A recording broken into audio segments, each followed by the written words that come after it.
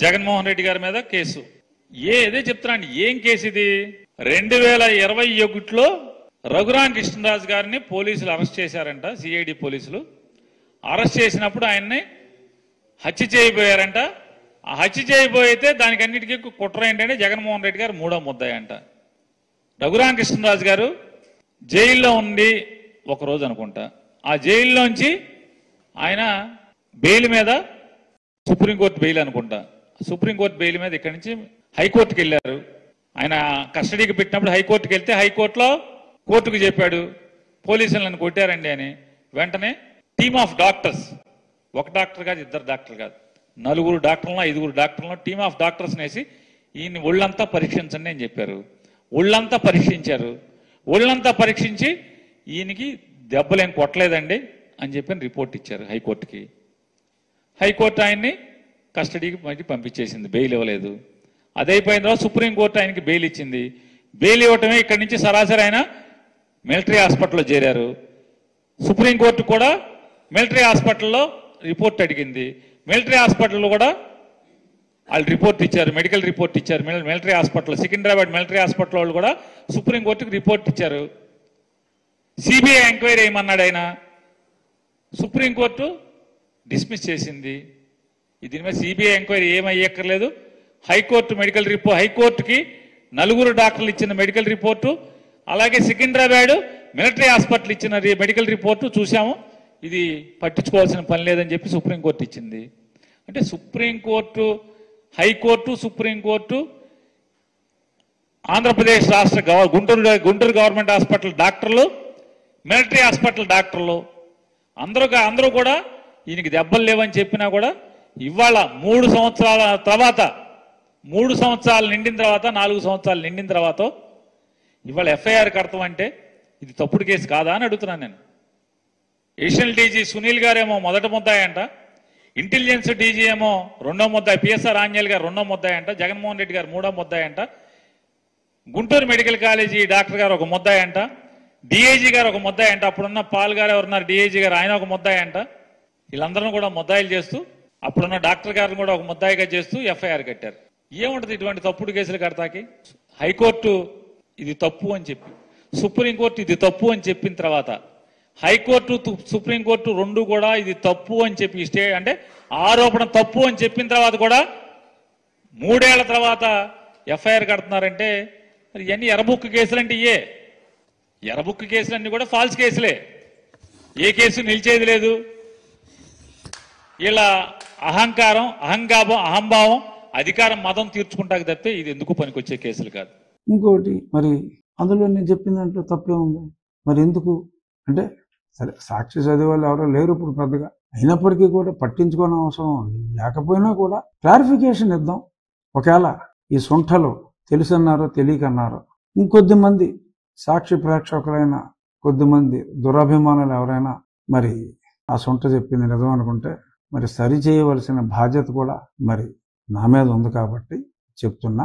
One by one supreme court ఈ case కొట్టేయలేదు. Supreme court అసలు medical reports correct Guntur road ఇచ్చిన రిపోర్ట్ కరెక్ట్ అని ఎవడో అనలా. మిలిటరీ హాస్పిటల్ రిపోర్ట్లో చాలా స్పష్టంగా due to physical abuse ecchymosis is observed on both feet అని చెప్పి చాలా స్పష్టంగా ఉంది. దెబ్బలు తగిన తగిలినందువల్ల ఒక వేలు ఎరిగిపోయింది అని చెప్పి స్పష్టంగా ఉంది. రక్తస్రావం జరిగింది. కాళ్ళలో అనేది స్పష్టంగా ఉంది. దాని మీద సుప్రీంకోర్టు అబ్జర్వేషన్ కూడా it is obvious there has been abuse అని చాలా స్పష్టంగా చెప్తూ ఆ కారణం చేత బెయిల్ ఇవ్వాల్సిన అవసరం ఉంది? లేకపోతే అసలు బెయిల్ ఎందుకు ఇచ్చారా ఆలోచించండి సుంఠల్లారా? బెయిల్ ఎందుకు ఇచ్చారు? మీరు దుర్మార్గులు మీరు చంపుతారనే కదా. వన్ ట్వంటీ ఫోర్ ఏ మీరు పెట్టింది దొంగ కేసు అది వేరే విషయం. అది విచారణ చేసుకోండి అన్నారు. జరుగుతుంది. ఆ విచారణ మీరు పెట్టిన దొంగ కేసా కాదా? అన్నది అది వేరే విషయం. కానీ గుంటూరు హాస్పిటల్ రిపోర్ట్ ఫేక్ అని చెప్పినట్టే లెక్క. ఎందుకంటే మిలిటరీ హాస్పిటల్ రిపోర్ట్లో అంత స్పష్టంగా ఇచ్చిన తర్వాత మీ గుంటూరు వాడిది ఫేకు అని అర్థమైపోయింది. మధ్యలో ఎప్పుడైతే ఇది వస్తుందని తెలుసో మరి సునీల్ కుమార్ మరి చాలా అతి తెలివితో ఆ ఇక్కడి నుంచి తీసుకెళ్ళేటప్పుడు మరి ఏం జరిగిందో ఆ కారులో ఏం జరిగిందో అన్నట్టుగా కూడా వాగటం జరిగింది. ఎందుకంటే ఇవన్నీ భయంతో ముందే కొంతమందిని రిపేర్ చేయడానికి పిచ్చివాగుడు వాడటం జరిగింది.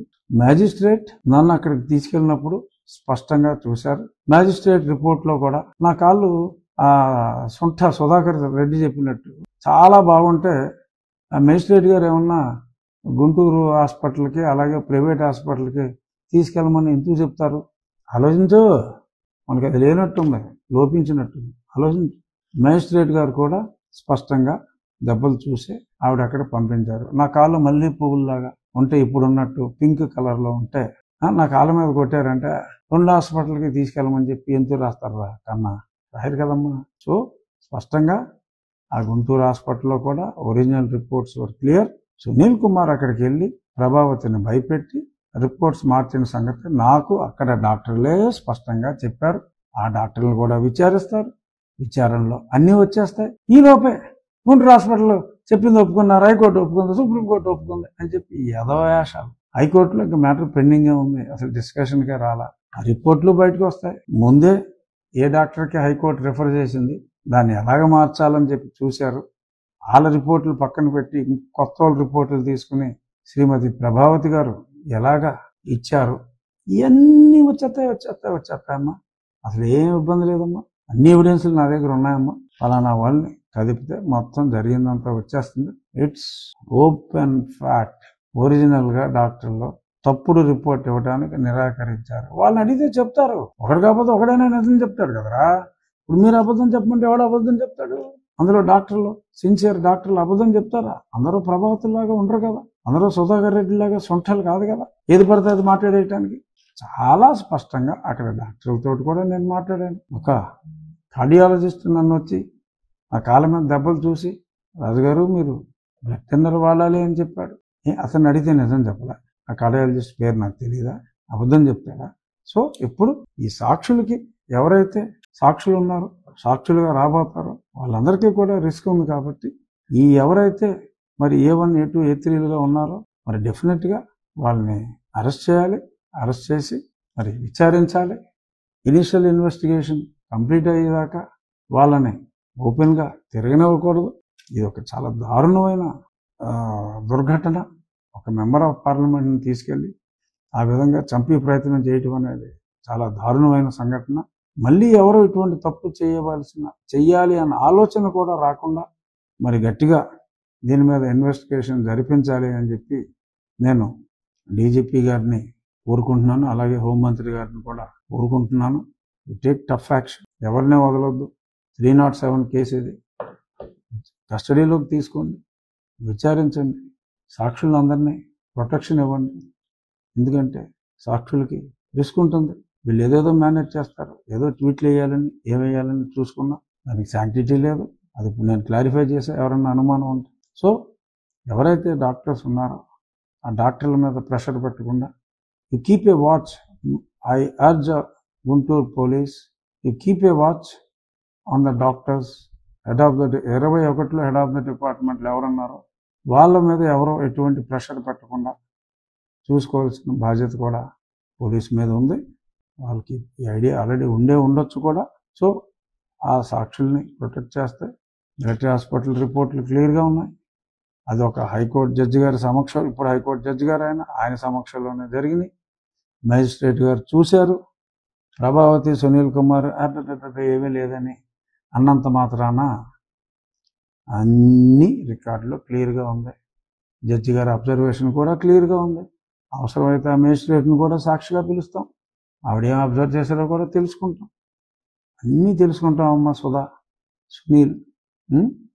అతిగా ఆవేశపడి అడ్డగోలుగా దొరికేయకండి? దొరికేశారు ఎలాగో? బట్ మీ అతివాగుడు వలన ఇంకొన్ని ప్రమాదాలు ఇంకొంచెం తొందరగా ముంచుకొస్తాయి. సరే మీరు ఎంత అతిగా మాట్లాడితే మాకు అంత మంచిది. అంత తొందరగా ఈ కేసు కూడా క్లోజ్ అయ్యే అవకాశం ఉంది. కేవలం సాక్షి చెడ్డ రాతల గురించి క్లారిఫికేషన్ ఇవ్వటం కోసం నేను ఈ ప్రెస్ మీట్ పెట్టడం జరిగింది. తప్పకుండా ఈ కేసు త్వరితగతిన విచారణ జరగాలని మళ్ళీ రాష్ట్రంలో ఇటువంటి అన్యాయాలు ఎవరికి జరగకుండా చూసుకుంటారని.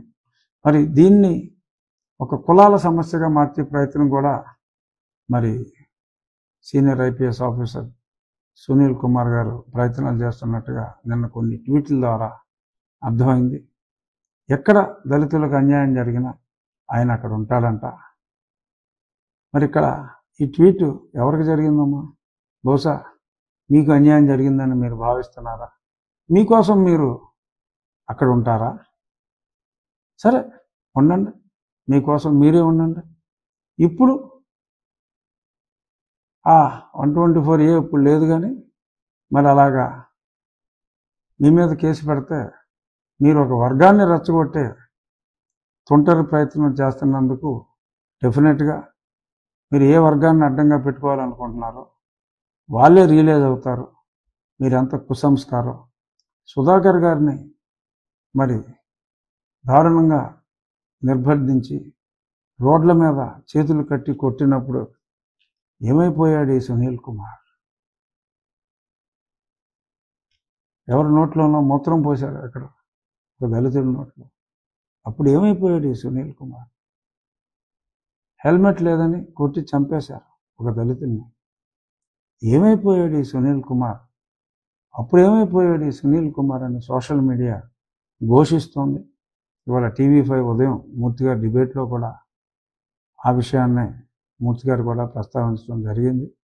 So people are watching my dear Sunil Kumar people are watching I think your game has come to an end so let's see తప్పకుండా నిందితుల్ని అరెస్ట్ చేయాలి.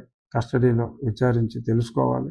నేను కూడా నా దగ్గర ఉన్న ఇన్ఫర్మేషన్ అంతా త్వరలో ఐఓ గారిని కలుసుకొని ఇన్ఫర్మేషన్ అంతా కూడా ఇస్తాను. థ్యాంక్ యూ న్యాయం జరగాలి అని కోరుకుంటున్న నా వెల్ విషర్స్ అందరికీ కూడా నా హృదయపూర్వక నమస్కారం